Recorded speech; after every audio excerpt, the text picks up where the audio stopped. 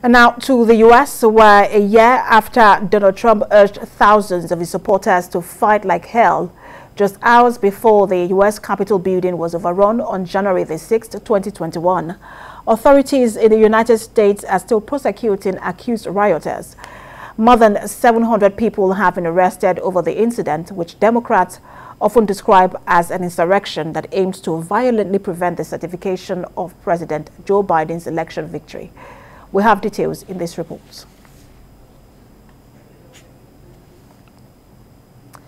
All right, joining us now to, um, we'll bring you that report in as subsequent bulletins. Joining us now to discuss this is a former advisor to the U.S. Secretary of Defense, Christopher Harvin. Good to have you join us. Very much for the opportunity today. Good afternoon. Good afternoon. Uh, let's look at one year after. Um, what what do you think, or where do you think that the um, insurrection stands when it comes to America's history?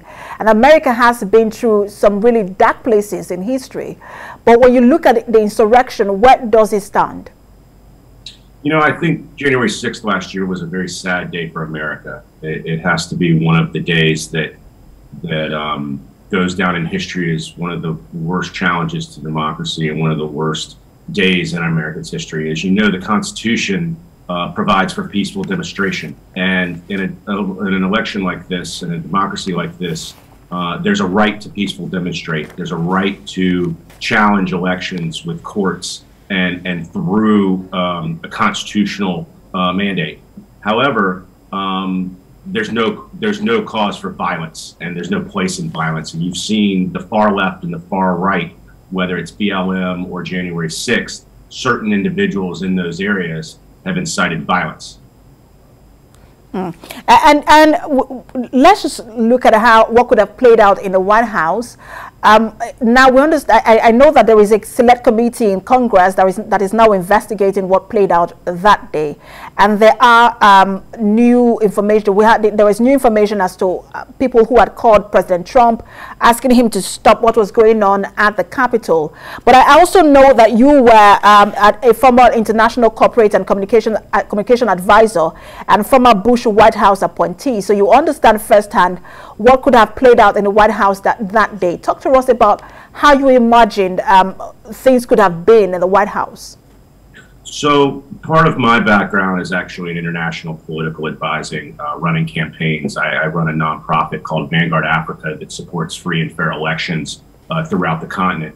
And, you know, I think that with the irregularities in the election, uh, challenges to, to the voting bloc, irregularities with write in ballots, I think the, the Trump administration had the right to call for investigations and had the right to to investigate irregularities because um, that's the beauty of the, the power of the United States is we have free and fair elections and we have um, the ability to challenge those elections legally.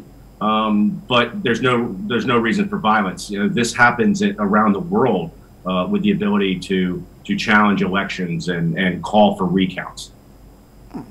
And so I have no doubt that there was a that there was a conversation in the White House about um, challenging these elections, having you know having voting recounts. These happened in 2000. These happened in 2004, as you remember. Um, the Bush the Bush White House challenged elections. The Gore campaign challenged elections. We had challenge to the uh, minimal challenges to the election when McCain faced Obama. Uh, so no doubt, as there's a very energized polarized electorate here between Democrats and Republicans that either side would have challenged those elections peacefully. And should the insurrection be seen as a singular, singular event in history or a public display of an ongoing threat um, of domestic terrorism in the U.S. that has now been emboldened by the insurrection?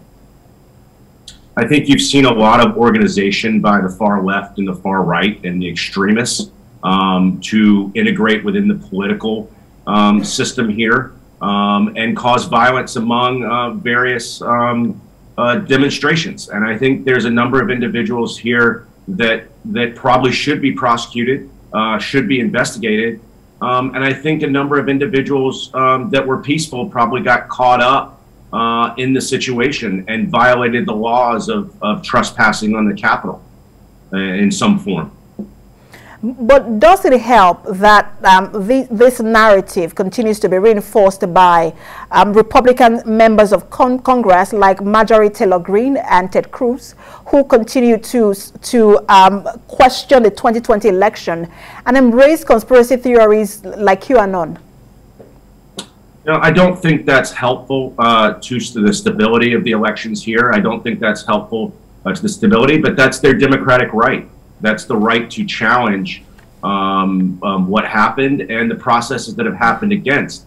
But it should be peaceful. It should be uh, within the systems of the law, uh, within the systems of the with the with the mandate of the Constitution. Um, and at some point, we have to put this behind us um, for the good of the country, and we have to put our differences behind us for the good of the country. We're facing a lot of challenges with COVID, uh, the economy.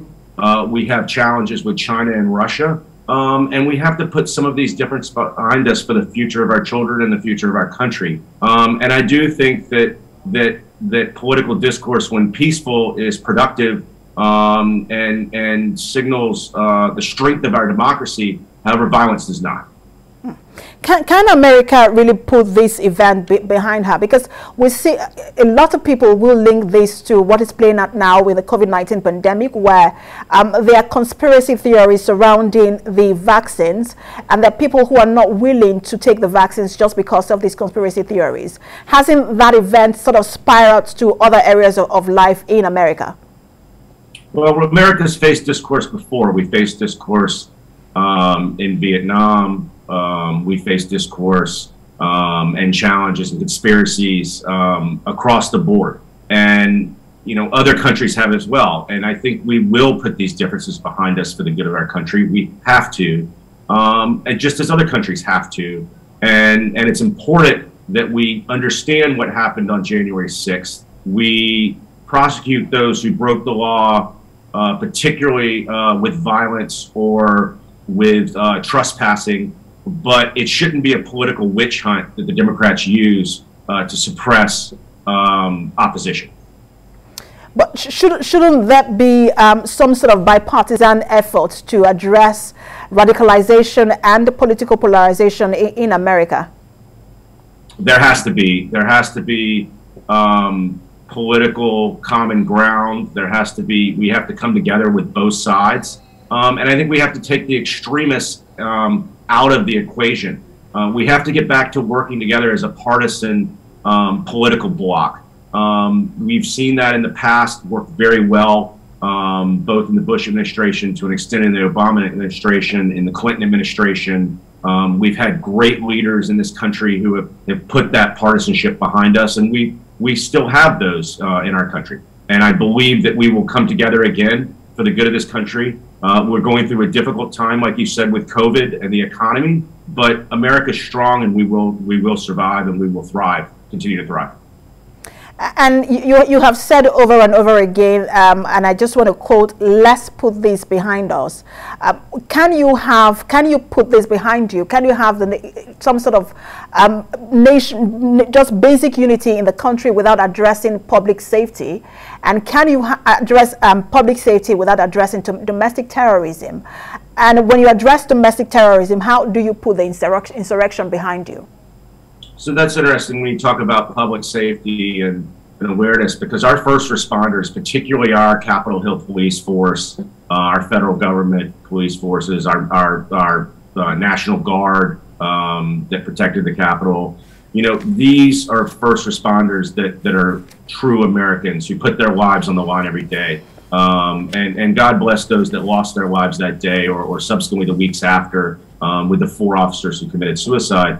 Um, I do think that that everyone has to step back and, and, and there's a respect situation. I think that we have to respect that everyone is entitled to their beliefs. That's part of our democracy. Uh, and we're entitled to peacefully express our beliefs. And we need to respect that, that we do differ and find common ground to come together. The cancel culture here, when you disagree of, of censoring on Twitter or censoring or, or not becoming friends, um, this shows the political discourse and the disrespect for others. And I truly believe that if we had respect for for differing opinions and we found common ground, that would, we would be a lot stronger. And I do feel like we will find that um, uh, soon. I hope.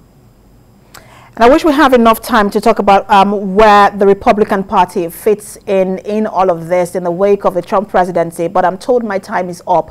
Thank you so much for talking to us, International Corporate. Continue the conversation. Thank you for the opportunity. All right, International Corporate and Co Communications Advisor and former Bush White House appointee, um, Christopher Harvin, thank you so much. Thank you very much.